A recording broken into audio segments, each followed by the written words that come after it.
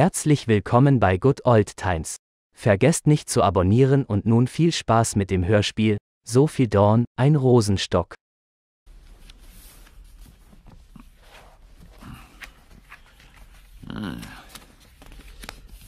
Eine Mauritius sollte man haben.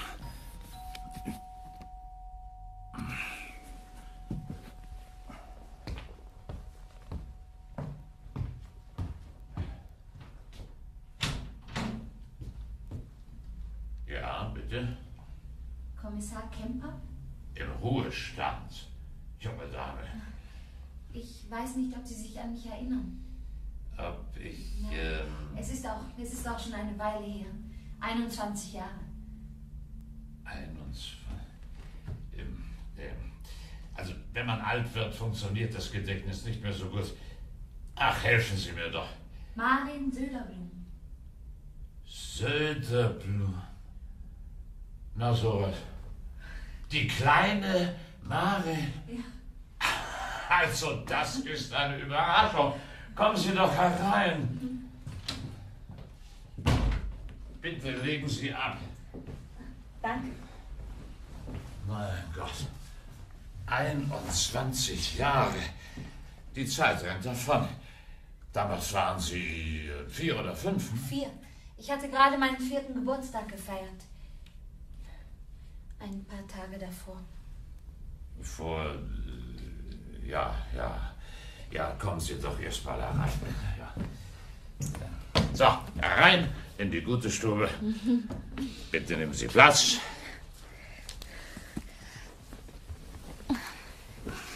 Schön haben Sie es hier.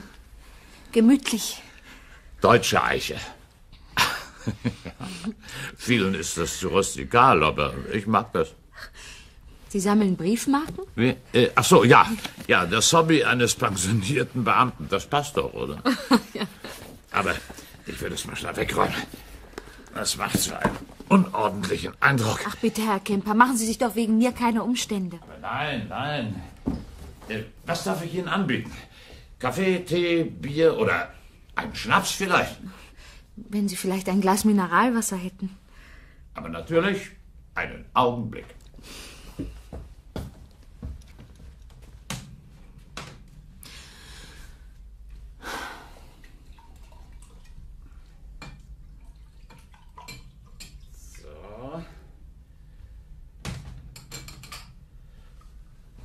So. So.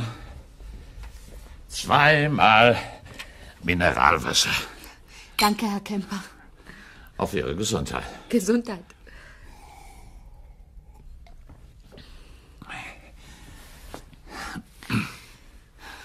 Tja. Hm, Sie ahnen vielleicht, weswegen ich hier bin? Na, ich kann es mir denken. Diese alte Geschichte. hm. Aber so düstere Sachen sind doch nichts für eine junge Frau. In ihrem Alter, da sollte man das Leben in vollen Zügen genießen. Sind Sie schon verheiratet? Nein, noch nicht. Aber Sie haben einen Freund, ne? Oh Gott, was frage ich denn da, ich alter Esel? Natürlich hat ein so hübsches Mädchen einen Freund. Also, dann verbannen Sie doch diese dunklen Gedanken aus Ihrem Kopf. Das habe ich vor. Na also, Aber dafür brauche ich zuerst Klarheit. Marin. Ich darf Sie doch Marin nennen, oder? Ja. Ja, gut. Also, Marin, ich verstehe voll und ganz, dass Sie diese Geschichte bedrückt. Es war ja auch eine ganz furchtbare Tragödie. Entsetzlich. Wir alle, die wir Ihren Vater und Ihre Mutter gekannt haben, wir waren wie vor den Kopf geschlagen. Sie schienen doch ein richtig glückliches Paar zu sein.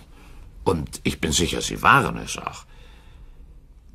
Es wurde vermutet, ich sage absichtlich vermutet, dass es überhaupt keine Beweise gibt. Dass meine dass- Mutter einen Liebhaber hatte und mein Vater sie, als er davon erfuhr, getötet hat.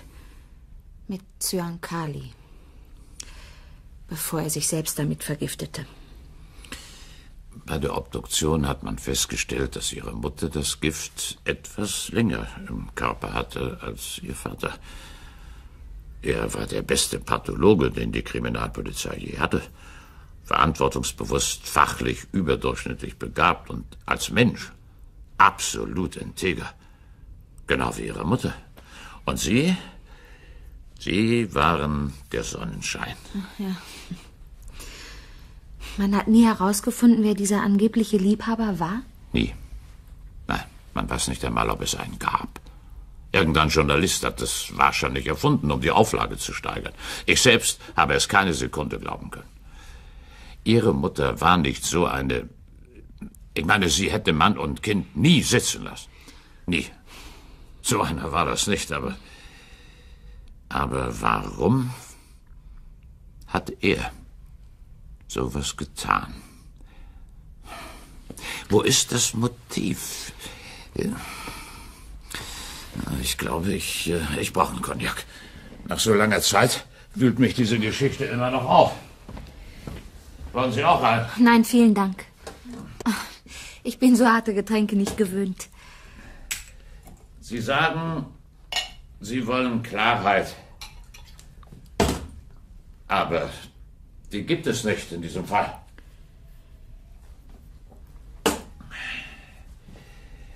Ich habe die Untersuchung ja damals geleitet. Ja, darum bin ich ja auch zu Ihnen gekommen.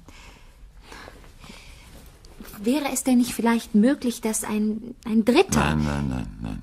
Da muss ich Sie enttäuschen. An diesem Abend waren nur Ihre Eltern und Sie im Haus. Türen und Fenster waren verschlossen, das Dienstmädchen wohnte außerhalb. Sie kam immer morgens und ging am Abend, äh, außer ihre Eltern hatten Gäste, dann musste sie länger bleiben. Sie hatte einen Schlüssel, doch den trug sie immer bei sich am Schlüsselbund. Ihr Alibi war hundertprozentig. Wasserdicht. Sie war an diesem Abend mit ihrer Gymnastikgruppe zum Essen aus. Ich wollte die arme Frau nicht verdächtigen. Das Gift wurde in den zwei Whiskygläsern gefunden, aus denen ihre Eltern getrunken hatten.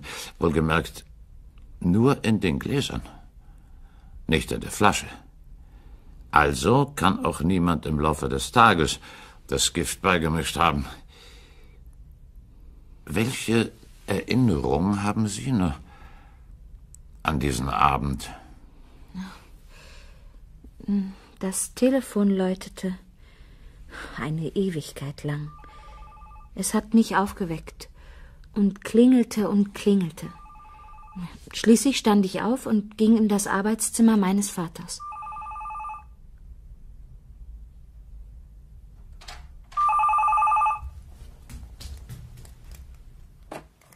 Hallo, wer ist da? Maren, mein kleiner Schatz. Hier ist Tante Astrid. Bist du noch nicht im Bett? Doch, ich war im Bett und dann hat das Telefon so laut geklingelt. Da bin ich dann wach geworden. Oh, entschuldige, mein Schatz. Wo ist denn Mutti? Weiß nicht. Ruf sie doch mal her, hm? Und dann marsch wieder ins Bett. Ja, Tante Astrid. Das ist lieb von dir. Ich bin ja auch schon ein großes Mädchen. Aber natürlich bist du das, mein Schatz. Und um noch größer zu werden, musst du auch gleich wieder ins Bett und schlafen. Ja, Tante Astrid. Und jetzt ruf Mutti. Ja, ich ruf sie. Mutti, Mutti, Mutti, Mutti.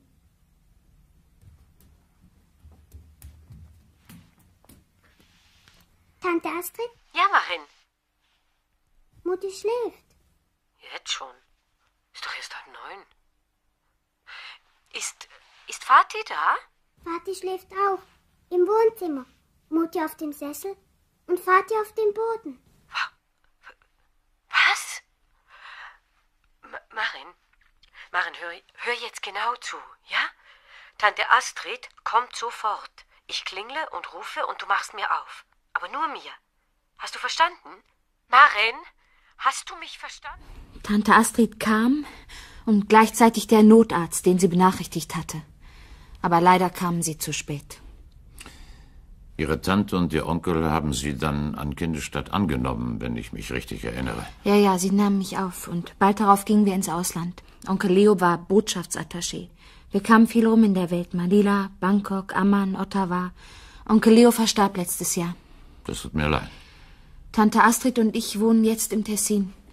Oh, nicht schlecht.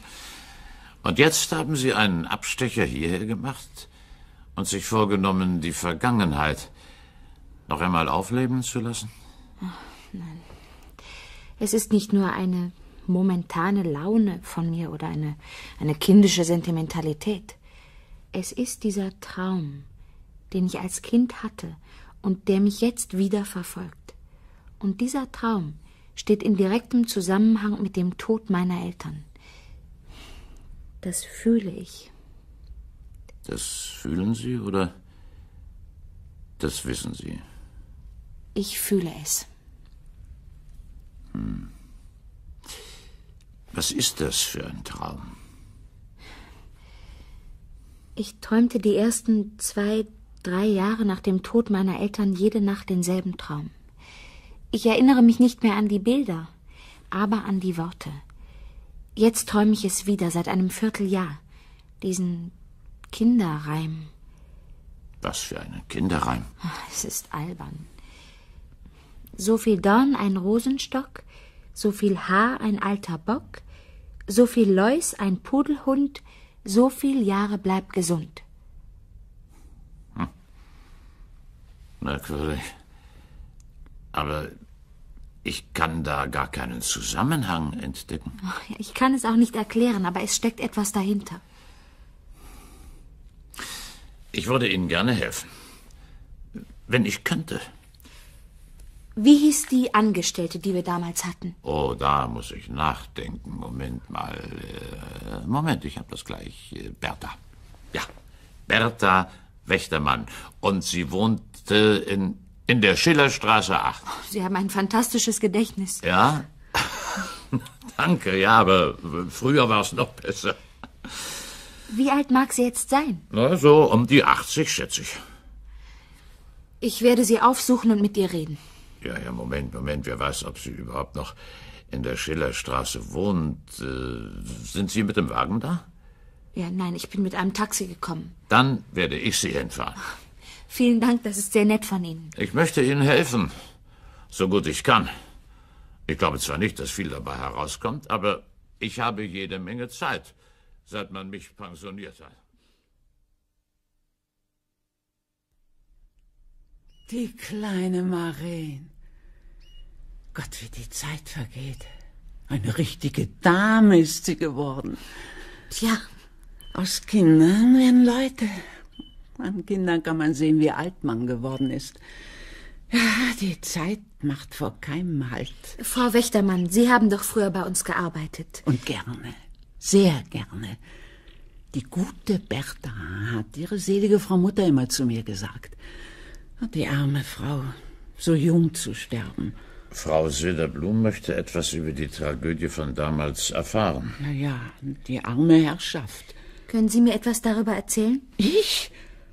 Aber ich habe schon damals alles dem Kommissar hier erzählt. Herr Kemper, ich habe Ihnen doch alles erzählt. Ich bin eine alte Frau, die keinem etwas getan hat. Ich sage nichts mehr. Ich bin in Rente. Nicht viel, aber für mich reicht's. Ich brauche nicht viel und will nicht viel. Ja, ja, Frau Wächtermann. Sie hatten doch einen Schlüssel, Frau Wächtermann, ja. So hieß es damals. Ich bin eine alte Frau und habe alles gesagt. Eine alte Frau bin ich. Marin, das hat keinen Sinn. Lassen Sie uns gehen. Tja, also ich möchte mich verabschieden, Frau Wächtermann. Sind Sie auch Doktor geworden, wie Ihr Herr Vater? Nein. Wie kommen Sie darauf? Als Sie noch ein Kind waren, wollten Sie unbedingt Doktor werden und jeden gesund machen. Auch wenn man nur einen kleinen Schnupfen hatte. Gesund machen? Ja, wie Kinder so spielen. Und dann haben Sie immer so was Nettes gesagt. Es, es, hat sich sogar gereimt. So viel Dorn ein Rosenstock, so viel Haar ein alter Bock, so viel Läus ein Pudelhund, so viel Jahre bleibt gesund? Ja, ist das nicht hübsch? Seien Sie nicht enttäuscht, Marin. Man hat ihr damals Fragen gestellt, die wohl bei ihr den Eindruck hinterließen, die Polizei würde sie verdächtigen. Und bei jemandem wie Frau Wächtermann löst so ein Gedanke selbst nach 20 Jahren noch Panik aus. Naja, das kann ich ja verstehen. Niemand ist gern verdächtig. Sagen Sie, hat denn die Polizei wirklich angenommen, sie hätte etwas damit zu tun? Aber nein, keine Spur. Die Sache mit diesem. diesem Kinderreim, die bedrückt Sie, nicht? Ja. Ach, nun machen Sie sich doch darüber keine Gedanken. Wäre Ihnen dieser Kinderreim unbekannt, hätten Sie auch nicht davon träumen können. Dort ist mein Hotel. Ah ja.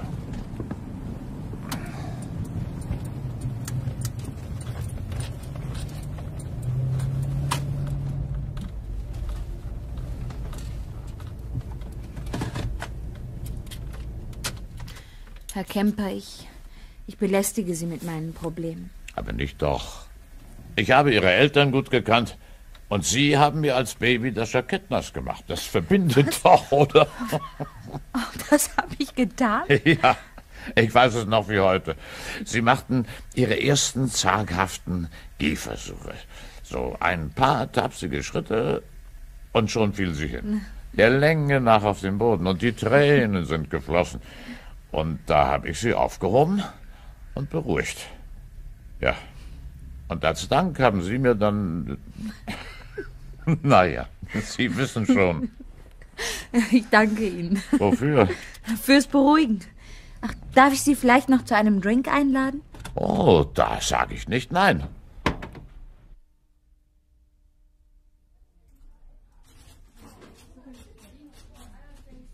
Da vorne links ist die Bar. Das gibt's doch nicht. Was ist denn los? Marin. Tante Astrid. Da bist du ja. Tja, und du auch.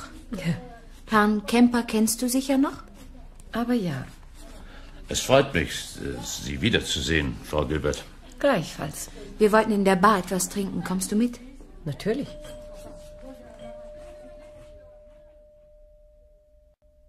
Ich bin dir nachgereist, weil ich mir Sorgen mache. Du hast eine blühende Fantasie. Zu blühend manchmal, wenn du mich fragst. Hast du dir auch hier ein Zimmer genommen? Ja, leider nicht neben deinem, aber auf demselben Stockwerk. Nummer 512. Und äh, Sie, Herr Kemper, sind pensioniert und betätigen sich jetzt als Hobbydetektiv? Tante Astrid. Ich habe Herrn Kemper heute aufgesucht und er war so nett, mich zu begleiten. Es war mir wirklich ein Vergnügen. Ach ja, Stell dir vor, wo wir waren. Bei Frau Wächtermann. bei wem? Bertha Wächtermann. Sie war die Hausangestellte Ihrer Schwester. Stimmt. Die dicke Bertha. Sie kannte den Kinderreim. Marin, hör bitte auf. Das sind doch alles Hirngespinste. Natürlich kannte sie den Reim. Du hast ihn als Kind ja oft genug aufgesagt. Ach, davon hast du mir nie etwas erzählt. Obwohl du wusstest, dass ich diesen Traum habe. Damit du dich nicht aufregst. deine Logik. Machen Sie Ihrer Tante keine Vorwürfe. Sie will doch nur das Beste für Sie. Sie sehen etwas erschöpft aus, Marin. Und das kommt davon, aber nicht auf mich hören wollen. Ich bin auch ein bisschen erschöpft. Letzte Nacht konnte ich kein Auge zumachen. Dann geh auf dein Zimmer und leg dich hin. Tja, ich bin eine schlechte Gastgeberin, Herr Kemper. Ach. Da lade ich Sie auf einen Drink ein. Herr Kemper hat sowieso fast ausgetrunken und für einen zweiten Drink ist es noch zu früh am Tag. Tante Astrid. Gehen Sie ruhig und ruhen Sie sich aus. Wenn Sie mich brauchen, Anruf genügt. Danke. Und jetzt verschwinde und schlaf ein bisschen. Auf Wiedersehen. Bis Wiedersehen. später.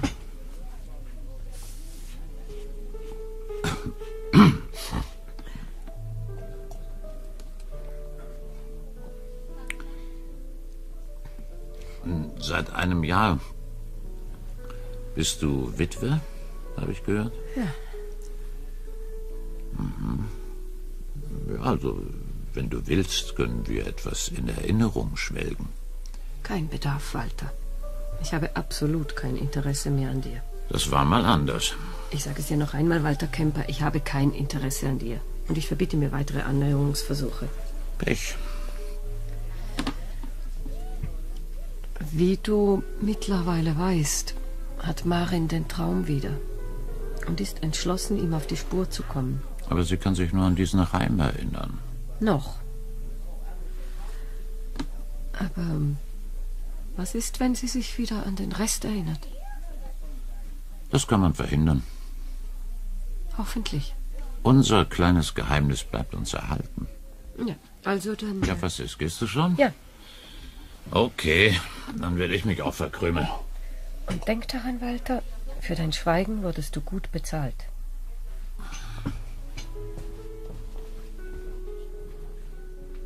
Barkeeper. Haben Sie noch einen Wunsch? Nochmal dasselbe. Und sagen Sie, wer war die Dame, die eben mit dem älteren Herrn hinausgegangen ist? Die Dame mit dem fliederfarbenen Leinenkostüm und der Herr mit dem braunen Anzug? Aha. Keine Ahnung. Habe ich noch nie gesehen. Nochmal dasselbe, sagten Sie? Ja. Man erlebt doch immer wieder Überraschungen. Wie mein? Ach, nichts. Ich führe Selbstgespräche. Tja, wenn einem sonst keiner zuhört.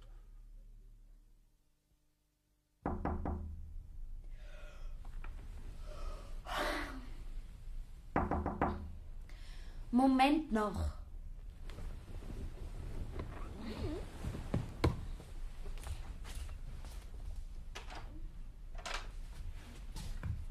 Alexander, du bist auch hier? Ich bin auch hier. Na, komm rein.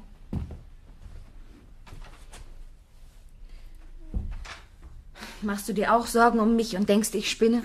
Erstmal, hallo Liebling, hallo Alexander, wie geht es dir? Gut und dir? Na, entschuldige. Ich freue mich wahnsinnig, dich zu sehen. Das hört sich schon viel besser an. Ciao, mein Schatz. Tja. Übrigens, Tante Astrid ist auch hier. Ja, ich weiß. Die unvermeidliche Tante Astrid. Sie wohnt zwei Zimmer weiter. Wenigstens nicht nebenan, mit Verbindungstür. Da wohne nämlich ich. Du hast dir auch ein Zimmer genommen?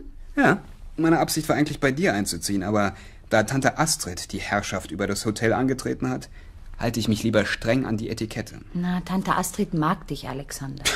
Das spürt man. Sie kriegt sich gar nicht mehr ein vor Liebenswürdigkeit.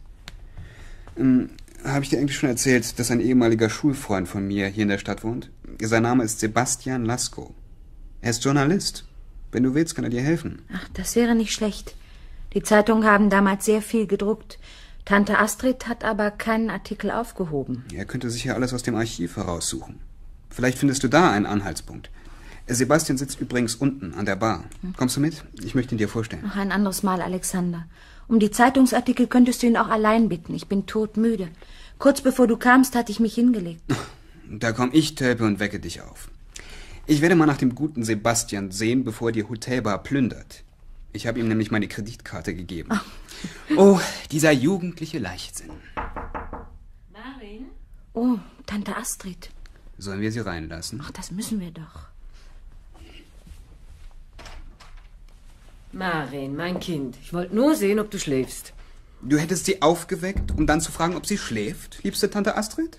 Alexander Münster, vorlaut wie immer. Wohnst du etwa hier? Du meinst hier, im Zimmer einer ledigen Dame? Natürlich nicht.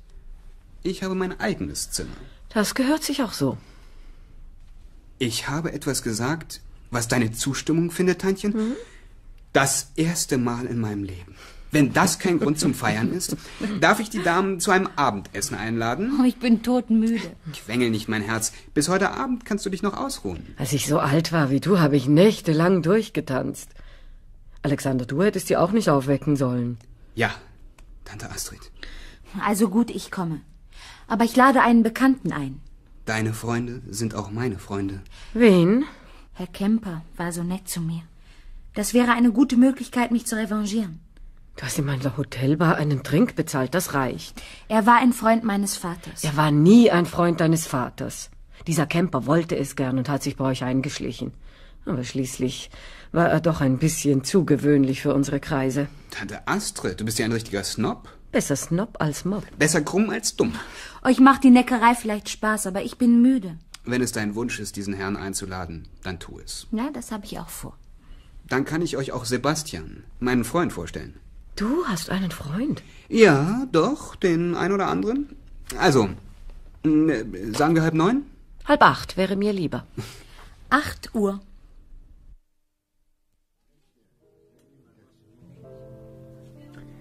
Cheers, Sebastian. Cheers, Alex. Sag mal, kennst du eine Frau Anfang 50, blonde, kurze Haare, sehr schick, fliederfarbenes Leinenkostüm? Astrid, Marins Tante.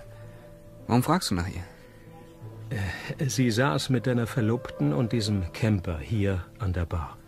Marin kannte ich von dem Foto, das du mir gezeigt hast, und Camper aus Zeitungsberichten. Aber diese Dame war mir unbekannt. Was weißt du über Kemper? Nichts Gutes.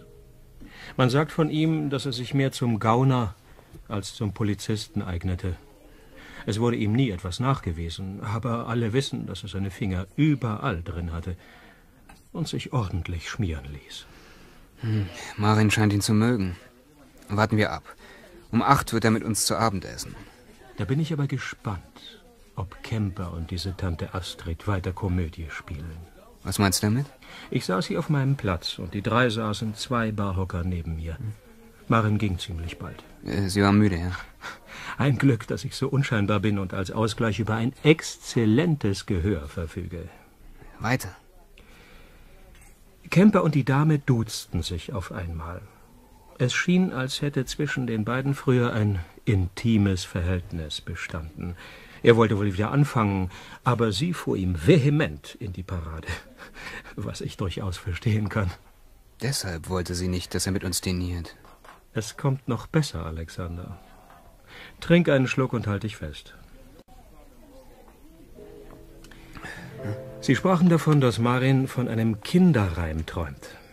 Ja, weswegen sie auch die ganze Geschichte wieder aufrollen will. Das habe ich dir doch alles erzählt. Ja, ich weiß. Die beiden wollen nun verhindern, dass Marin sich auch an den Rest des Traumes erinnert. Verhindern? Warum bloß? Das wäre doch die Lösung. Meine Güte, Alexander, stell dich nicht so blöd an. Marin war am Todestag ihrer Eltern im Haus. Was immer sie an diesem Tag erlebt hat, ist in ihrem Unterbewusstsein versteckt. Als Kind hat sie davon geträumt, ohne die Bedeutung zu erkennen. Dann war Sendepause. Jetzt beginnt es von neuem. Bisher ist nur ein Teil des Traumes zurückgekehrt, der Kinderreim. Wenn der Rest nachzieht, wird sie mit dem Verstand einer Erwachsenen die Sache erfassen können und vielleicht eine Antwort finden. Und wie es scheint, will das weder Kemper noch ihre Tante. Vielleicht war es nicht Mord und Selbstmord, sondern Doppelmord. Kemper hat auch damals Geld von ihr bekommen. Schweigegeld. Ich kann das nicht glauben. Astrid Gilbert. Eigentlich mag ich sie ganz gern. Ich habe äh, mir übrigens im Archiv die alten Berichte angesehen. Keine brauchbaren Hinweise, nur Vermutungen. Niemand weiß nichts. Könntest du die Berichte kopieren? Marin würde sie gerne sehen. Mhm, das kann ich schon. Kein Problem. Glaubst du, Marin ist in Gefahr? Das wäre durchaus möglich. Kemper? Oder ihre Tante. Sie ahnen nicht, dass wir Bescheid wissen. Das ist ein Vorteil für uns. Darf ich vorstellen? Sebastian Lasko, mein Freund. Ein sehr begabter Journalist. Guten Abend. Und das ist Frau Gilbert, von mir respektlos Tante Astrid genannt. Sie sind also Journalist. Feuilleton. Lokalredaktion. Er weiß, wer in dieser Stadt Leichen im Keller hat. Alexander, bitte. Und das ist Marin Söderblom, die Frau, die sich bereit erklärt hat, mich zu heiraten. Mündliche Zusagen sind nicht bindend. Äh, Jetzt fehlt nur noch Herr Kemper. Er wird sicher gleich kommen. Wenn man vom Teufel spricht. Guten Abend allerseits. Komme ich zu spät? Nein, nein, Sie sind pünktlich. Sie sehen bezaubernd aus, Marin. Danke. Und Sie natürlich auch, gnädige Frau. Danke. Herr Kemper, darf ich Sie mit meinem Verlobten bekannt machen? Alexander Münster. Ah ja, der Gastgeber. Es freut mich, Herr Münster. Und mich erst, Herr Kemper. Sebastian Lasko, ein Freund von Alexander. Herr Kemper, wie interessant, Sie mal persönlich kennenzulernen. So? Herr Lasko ist Journalist. In der Lokalredaktion. Von ihm ist der Pulitzer-Preis verdächtige Artikel über die hier ansässigen Kleintierzuchtvereine. Haha. Aber jetzt wollen wir erst einmal Platz nehmen und bestellen. Herr Ober? Übrigens mal. Ich habe Sebastian gebeten, im Zeitungsarchiv zu stöbern und alle Artikel, die sich mit dem Tod deiner Eltern befassen, zu kopieren. Ich werde sie Ihnen morgen bringen. Ach, das ist sehr nett. Ich finde es ungeheuerlich, Alexander, dass du Fremde in unsere Familienangelegenheiten einbeziehst. Mord ist keine Familienangelegenheit. Bitte, Alexander. Stimmt's, Herr Kemper? Na nur, Tantchen. Nervös? Natürlich bin ich nervös. Bei so einem Tischgespräch. Das gehört sich nicht beim Essen. Herr Lasko bringt mir morgen die Kopien und ich bin schon sehr gespannt darauf, sie zu lesen. Und basta. In den Zeitungen. Da stehen doch nur verdammte Lügen, die sich sensationsgierige Journalisten ausgedacht haben. Schmierfinke. Das Wort Schmierfink, kommt das nicht von Schmieren? So wird es wohl sein, Alexander. Aber das ist doch ein etwas unergiebiges Tischgespräch. Auch auf die Gefahr hin, dich zu langweilen, Tante Astrid. Gibt es etwas, was deiner Meinung nach nicht bekannt werden darf? Etwas, woran sich Maren auf keinen Fall erinnern soll? Alexander. Was bezweckst du mit diesen Andeutungen? Willst du Maren gegen mich aufbringen? Also das möchte ich auch gern wissen. Sebastian? Ich habe etwas recherchiert. Im Dreck gewühlt. In unserem Archiv. Das war zwar interessant, aber nicht aufschlussreich. Na bitte. Interessant und aufschlussreich war hingegen das Gespräch, das ich heute Nachmittag in der Hotelbar gehört habe. Heute Nachmittag? Ja, Sie, Maren, sind bald gegangen, sodass Frau Gilbert und Herr Kemper allein zurückblieben. Und dann hörte Sebastian ein wirklich bemerkenswertes Gespräch. Erstmal ist es eine Ungeheuerlichkeit, fremde Gespräche zu belauschen. Er blufft doch nur. Meinen Sie, Herr Kemper? Wofür? Zum Beispiel haben Sie von Frau Gebert Geld bekommen. Sie sagten doch, er wurde für sein Schweigen bezahlt, Frau Gilbert. Hat er Beweise verschwinden lassen in Ihrem Auftrag? Haben Sie vielleicht mit Kempers Hilfe Ihre Schwester und Ihren Schwager vergiftet? Ja, aber, aber Tante Astrid war doch gar nicht im Haus. Ich habe sie nicht vergiftet.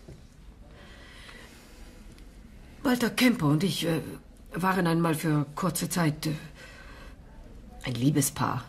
Eine sehr kurze Zeit, möchte ich noch mal betonen. Als die Tragödie passierte, war ich schon mit meinem späteren Mann Leo verlobt. Aber Kemper lungerte immer noch im Haus meiner Schwester und meines Schwagers herum. Man ist fast über ihn gestolpert. Hat sich ständig als guter Freund angeboten. Und in dieser Nacht brauchte ich ihn. Als Freund, der den Mund hält, und als Polizist, der sich mit Verbrechen auskennt. Herr Ober, ein Cognac. Was sollte vertuscht werden? Ich wollte den Namen der Familie reinhalten, das war alles. Den Namen der Familie reinhalten? Was gab es da reinzuhalten? Sie waren tot und das war nicht mehr zu ändern. Du verstehst nichts.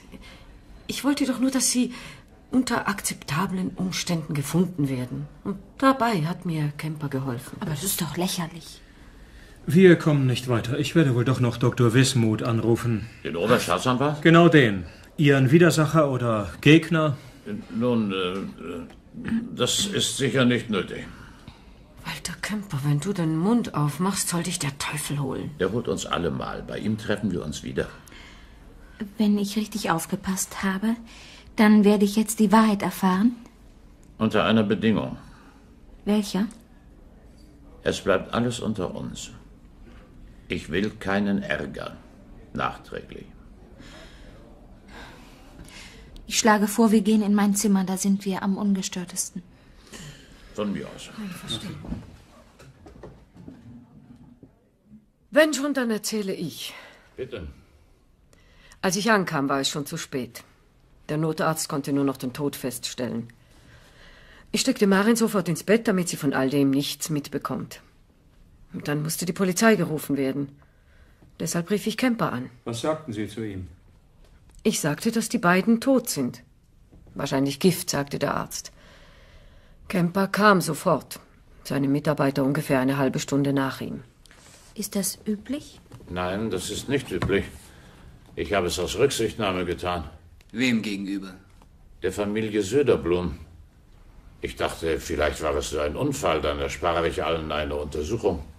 Er fand Fingerabdrücke auf den Gläsern und auf der Flasche. Durch das Pulver konnte man sie mit bloßem Auge erkennen. Er verglich sie mit denen der Toten. Sie stimmten überein. Ja, das ist ja wohl logisch. Sie haben ja auch aus den Gläsern getrunken. Tante Astrid, du willst wieder ablenken. Es waren Fingerabdrücke von drei Personen darauf. Von dreien? Ja. Ich habe sie abgewischt und die Fingerabdrücke ihrer Eltern neu draufgedrückt. Wer war die dritte Person? Das waren Sie, Marin. Jetzt ist es raus. In der Küche fand ich einen Löffel. Es waren noch Reste des Giftes zu sehen. Und Ihre Fingerabdrücke. Kind. Maren. Kind. Hätte es nicht etwas sanfter sein können, Alexander? Komm, komm, mein Kind, ich bring dich nach nebenan in Alexanders Zimmer. Nein. Komm, komm, beruhige dich. Lass mich. Lass mich allein. Komm. Komm erst mal wieder zu dir.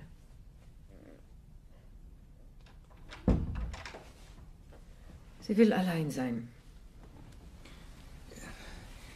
Ist das gut?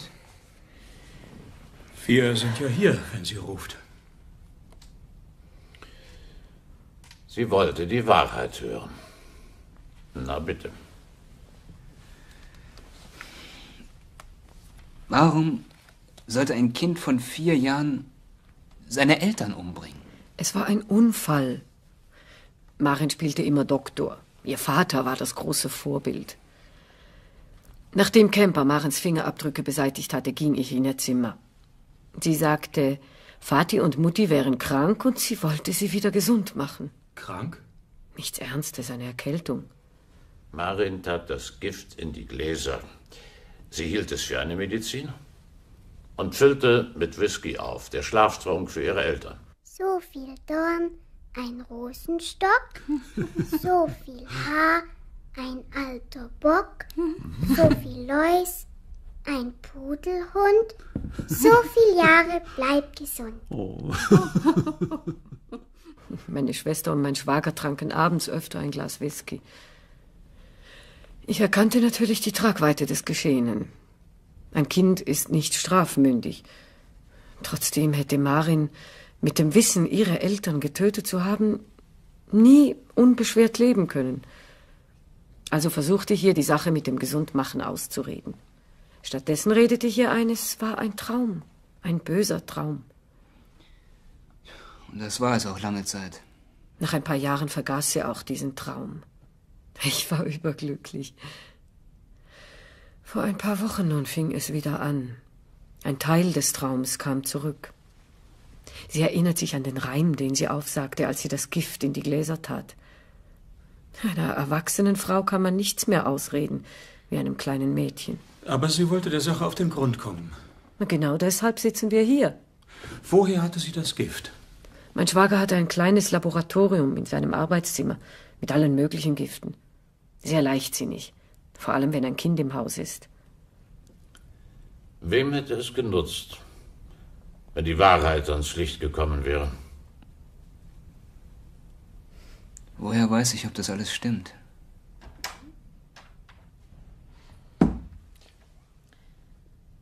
Ich habe alles mit angehört. Es stimmt. Marin, Ich erinnere mich wieder ganz genau. So viel Dorn, ein Rosenstock, so viel Haar, ein alter Bock, so viel Läus, ein Pudelhund, so viel Jahre, bleib gesund. Ich muss damit fertig werden. Am besten fange ich gleich damit an. Kann ich etwas für dich tun? Ich möchte jetzt allein sein. ich bleibe bei dir, wenn du willst. Nein, nein, bitte geht. Also Alle. gut. Es tut mir alles so leid. Auf Wiedersehen. Ja, ja. Auf Wiedersehen. Wiedersehen. Versuch ein bisschen zu schlafen. Das werde ich. Gute Nacht. Gute Nacht, Marin. Gute Nacht, Alex.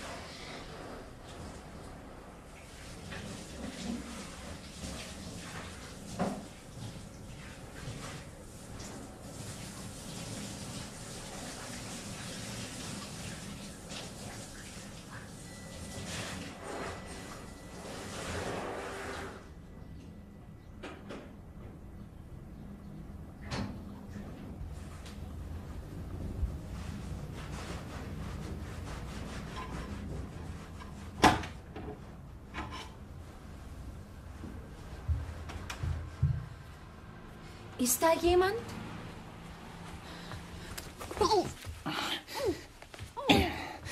Ich hätte dich schon damals umbringen sollen. Aber es ist noch nicht zu spät. Es ist sogar jetzt viel günstiger. Das verrückte Kind, das seine Eltern getötet hat, springt aus Verzweiflung vom Balkon. Fünfter Stock. Das reicht. Jetzt schau mich nicht so blöd an mit deinen Kuhaugen. Du kapierst natürlich nicht. Wer glaubst du, hat dir den Reim beigebracht? Das Gift vom Regal geholt und dir erzählt, dass du so deine Eltern gesund machen kannst. Und das brave Mädchen hat keinem erzählt, was der liebe Onkel mit ihm geübt hat. Mir ist der perfekte Mord gelungen. Und du warst mein Werkzeug. Dein edelmütiger Vater hat mir die einzige Frau weggenommen, die ich je in meinem Leben geliebt habe. Deine Mutter. Und sie spielten glückliche Familie, ohne zu wissen, dass ich mich rächen werde mit dem Produkt ihrer großen Liebe. Mit dir. Und deine vertrottelte Tante hat mir sogar Geld gegeben. Damit alles vertuscht wird. Und jetzt komm, mein Kind. Ja. ja. Komm. komm. Genug gelacht, Kemper. Lassen Sie die Frau los. Nein. Gott sei Dank. Dieses Schwein. Bismut. Haben Sie mir wieder eine Falle gestellt. Und diesmal hat sie zugeschnappt. Ich habe lange auf diesen Augenblick gewartet. Abführen.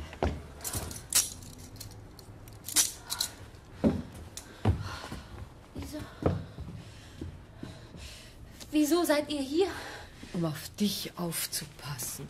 Glaubst du, ich bleibe ruhig auf meinem Zimmer, wenn du in Gefahr bist? Ich bin Oberstaatsanwalt Wismut. Herr Lasko, der Held des Tages, wenn ich so sagen Aber darf. nicht doch. Hat mich aus dem Bett geklingelt, damit ich Kempers Verhaftung persönlich vornehmen kann. Aber wieso seid ihr hier? Habt ihr gewusst, dass er kommt? Äh, Gewusst nicht, aber vermutet. Sebastian fielen einige Ungereimtheiten auf. Als Kemper weg war, kamen Alexander und er zu mir ins Zimmer. Und sie überzeugten mich davon, dass Kemper an jenem Abend alles geplant und mich an der Nase herumgeführt hat. Fingerabdrücke nimmt die Spurensicherung. Kemper war normalerweise nicht mit dem notwendigen Instrumentarium ausgerüstet. Ihre Tante rief ihn an und er kam sofort. Hatte er das Zeug zu Hause? Musste er wohl. Also hat er gewusst, was passieren wird und was er dort vorfindet. Das kam mir einfach merkwürdig vor. Ich dachte weiter, er wird nichts mehr riskieren. Wenn er die einzige Zeugin, die sich vielleicht daran erinnern könnte, umbringt, hat er für immer Ruhe. Aber er hätte auch diesmal einen glaubwürdigen Selbstmord vortäuschen können. Auf den Schreck sollten wir einen Schluck trinken. Gehen wir in mein Zimmer. Maren, zieh dir was über. Alexander, bestell beim Zimmerkellner eine Flasche Champagner. Dr. Wismut, darf ich um Ihren Arm bitten? Mit Vergnügen, gnädige Frau. Ich warte auf dich, Marin. Ich danke dir, mein Liebling. Ich kümmere mich um den Champagner.